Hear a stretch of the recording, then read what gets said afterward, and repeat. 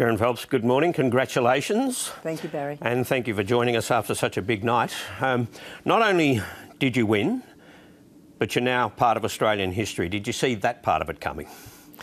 Well, I knew that if I was able to win the election, and we always thought it was a long shot, that it would it would have to make history because it, it, would have to, you know, be the first time that anyone other than the Liberal Party had owned this seat since 1944, and uh, and certainly it hasn't been won by uh, a you know a non-Liberal candidate since 1901. So it, it was going to be a, a major a major victory if it did happen. And you talked about it as being a pop-up campaign. It was quite late in the piece that you decided to run. Were you genuinely torn?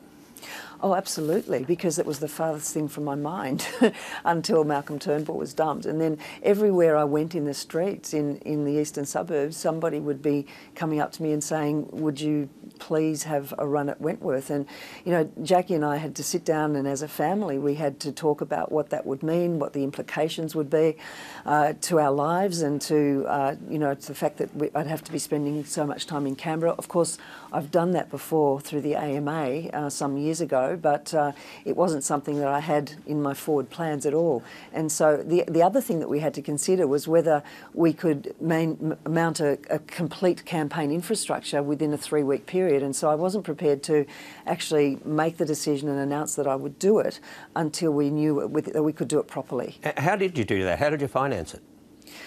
Well, Jackie and I were prepared to underwrite it, and then being a grassroots campaign, we uh, we asked for crowdfunding, and people started donating small and larger amounts of money to to help us out because they shared the vision. They wanted to see the Liberals sent a message, and they wanted to see me as their representative for Wentworth in Canberra. Now, 17.7% must have felt like Mount Everest at times during the campaign. Were, were there moments of despondency? Oh, look, of course. I mean, things went up and down and up and down for the first couple of weeks, and you know, it went from uh, from this is impossible to oh well, just maybe we'll scrape over to it'll be close, and then.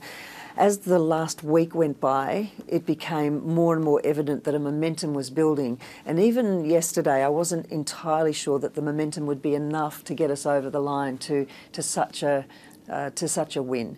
Uh, as the day further progressed, and I was getting reports in from, from our booth captains, uh, and they were saying, you know, there's a really strongly positive mood out there. People want to see change. And we thought that maybe it would be possible, but it really wasn't until we saw the numbers on the screen last night that, uh, that I could confidently say that, that we had it won. Well, you say the sacking of Malcolm Turnbull is what got you into the thing in the first place, but in that last week or two, with the Malcolm Turnbull issue to one side, what, what was it, do you think, that changed that mood? Well, there was there was a, a, sequence of events that happened that, you know, people just became utterly exasperated with the Liberal Party. First of all, they seem to be only interested in their own self interest. They only seem to, to want to talk about their leadership challenges and their factional battles. And, you know, it's like, hang on a second, we're out here, we're the Australian people, we want you to focus on our issues. Uh, the Religious Freedoms Report was, was something that was quite early on an issue. I called for that to be released. The government had been sitting on that for, for five months and doing nothing about it and refusing to release it. And uh, then when there was a, a, a leak and a suggestion that gay kids would be uh, thrown out of school if someone found out they were gay. That caused an outrage. But then they reversed that pretty quickly. Oh, well, of course they had to because you know they got they got found out. You know they, they were trying to, to sit on that. Uh, there were then a whole lot of other issues. I mean the the Pauline Hanson motion in the Senate where senators from the Liberal Party voted on that "it's okay to be white" motion. You know people said what's going on there, and then the next day their best excuse was "oops, we didn't mean to. We didn't actually read the motion." Now that's shambolic government. You know that is poor governance, and so people were saying, well, you know how can you possibly explain that? How can you call yourself a responsible government and do that sort of thing? You well, know, then well, uh, accepting then that, that it was shambolic, how does how does it now help that we have a hung parliament? Well, what helps is that you have responsible crossbenchers who are prepared to uh, discuss issues on their merits to actually bring it back to the issues that the people of Australia want the government to be focusing on. And, and I believe that having now uh, the uh, hung parliament, uh, then the crossbenchers then become a very important element in the decision making process. And it's not just a, a decision about uh, what legislation gets in, voted on in which way, but it's really about the agenda that is set and, and the responses that the government needs to make to what the people are saying through their representatives on the crossbench. So, how do you feel now about the, um, the, the prospect of a no confidence vote in the government? How, how would you respond to that?